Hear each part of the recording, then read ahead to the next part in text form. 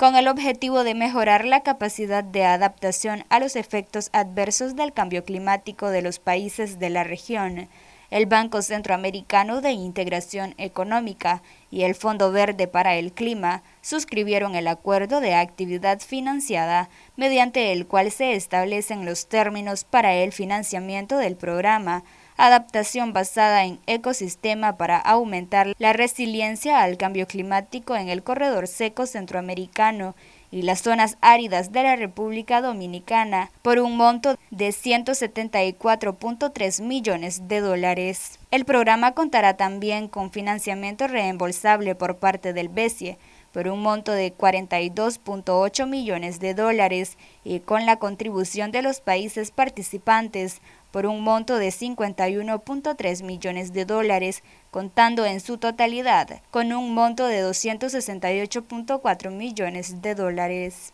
Del monto total del programa, 135.6 millones son en calidad de fondos no reembolsables para implementar medidas de adaptación basada en ecosistemas y asistencia técnica, que son unos 102.8 millones de dólares y serán recursos para el otorgamiento de créditos a través de instituciones financieras intermediarias en la región y 30 millones de dólares serán para establecer un fondo de garantías parciales de crédito que facilitarán e incentivarán la colocación de los créditos para la adaptación basada en ecosistema en la región. El programa es una iniciativa regional con la que se espera beneficiar un área de aproximadamente 20.530 kilómetros cuadrados, reduciendo la deforestación en las zonas priorizadas de Guatemala, El Salvador, Honduras, Nicaragua, Costa Rica, Panamá y República Dominicana.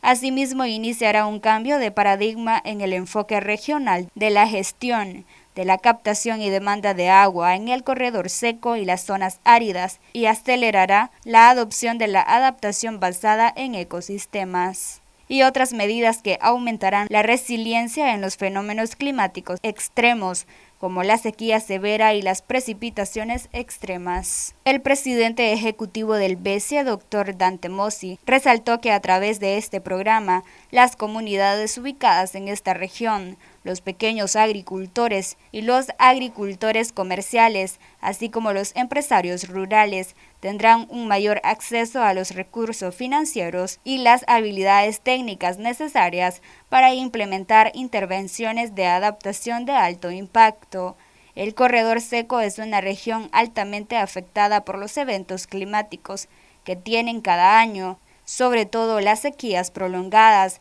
que ponen en riesgo la seguridad alimentaria en estas poblaciones de estos países. Para Noticias 12, Luisa Centeno.